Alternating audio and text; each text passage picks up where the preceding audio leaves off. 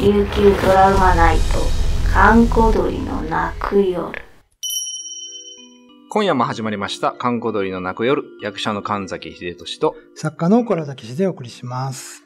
えー、ローカルホラーリポート、はい。伊藤編ということで、えー、小良さん、今日はどの島をご紹介いただけますでしょ今日はですね、石垣の方、お。竹富町のうはい。黒島という島なんですけど、おー。竹富町、竹富島はい、といえば僕は牛舎のイメージが、行かれました。行かれました。一回行きましたが。僕もね、昔本当に30年ぐらい前に行ったんですけど、うん。まあ、牛と馬しかなかったですね。そうっすね。もう、あれら3時間ぐらいで一周できるぐらいのそうなんですよ。小さい島でしたけどね。で、その黒島にですね、伝ってる話がありまして、はい。えー完成12年、うんこれ西暦1800年、はいはいはい。えーこの黒島の沖合に、まあ、一隻の難破船が近づいてきたんですねあ。はい。で、中調べてみるともうみんな死んでて、うん。まあどっから来た人かわからないと。はい。で、その黒島の人はうん近くにまあ墓場を作って、はい。で、そこに遺体をまあ埋めたんですが、うん。それからですね100年後の明治33年、1900年、はい。あのー黒島でですね、うんネズミが大量発生する事件が起きたんです。で、ネズミは、うん。まあ、畑の作物を食い荒らしたり、はい病気をもたらしたと。うんうんうん。で、これを、そのなんか、なんかたたりじゃないかと思ったはい黒島の人がユタに見てもらったんですけど、はい。ユタはですね、うんこの技がすべて 100年前の正体不明の船に乗っていた、うんまあ、屍のたたりであると。おー。100年後に出てくるのもなんかね、そうっすね。遅いんですけど、はいはい。まあ、そう言われたので、うんうん。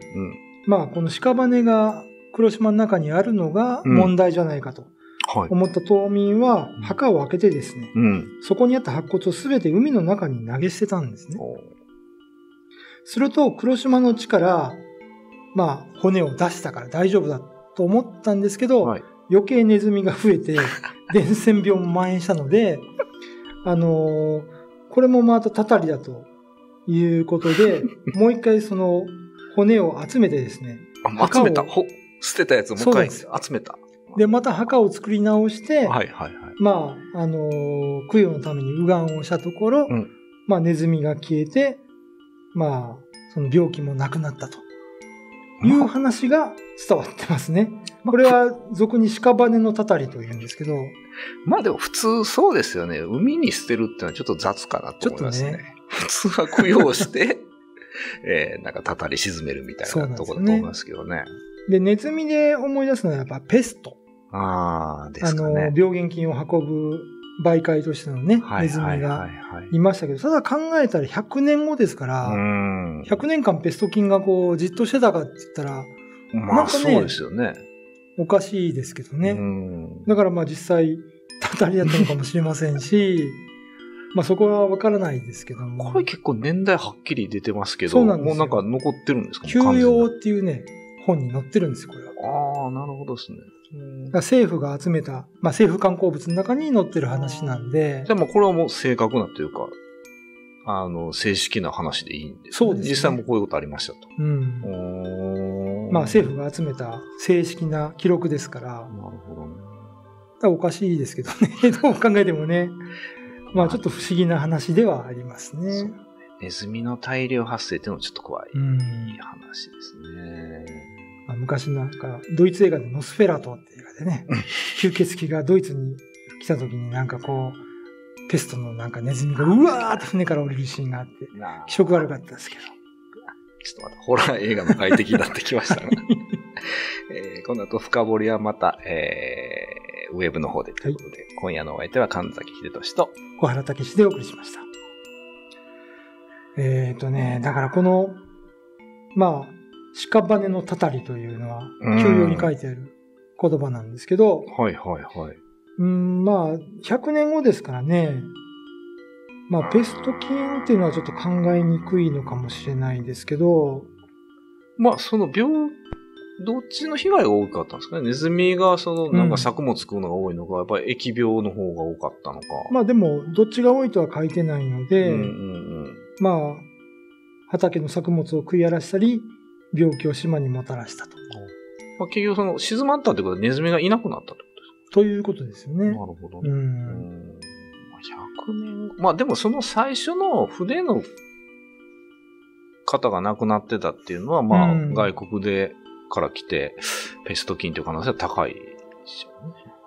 ただね、その、休養にはこれが、うん例えば外国人？うん。外国人のことを、まあ、沖縄の人昔、全部オランダ、オランダ人って言ってたんですけど、はいはい、言ってましたね。なのか、まあ、東、まあつまり中国はいはいはい。か、本土の船なのか。うん。まあ、それは書いてないんですよ。あなるほどね。で、まあ、聞いた話だと、まあ、うん中国の船じゃないかとうーん。言われてるんですけど、そこはちょっと謎ですね。なるほどね。で、この、えーもう一度骨を集めて、えー埋葬したお墓。うん。これもね、あのーなんか2、3箇所あって、どれが本当なのかよくわからないんですけど、2、3箇所あるんですか？まあ、ここだろうと。ああ、言われて、あ、もう今じゃあなんかないんですか？火みたいなものも。後もないみたいな。そうですね、1900年ですから、まあ、100年以上前ですよね。ああ、なるほどね。まあ、ただ、そういう、その、ナンパ船っていうのはよく、まあ、石垣とか宮古とか。よく来たらしいですよね。まあそうでしょうね。やっぱ潮の流れとかでね、うんやっぱつくんでしょうね。で、まあ、その、沖縄の人は、外国人を見ると。全部、ウランダーって言うんですよ。オランダの人だね。そうなんですよ。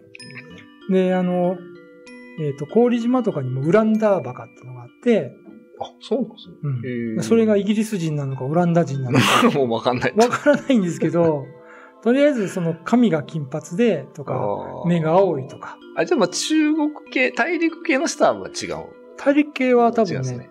あの、記録に唐って出てますから、ああ、そっちそういう場合は多分わかると思うんですよ。日本人の顔似てるし。あ、なるほどね。はいはいはいただまあ外国人は。文化もないから そういうね、接触する。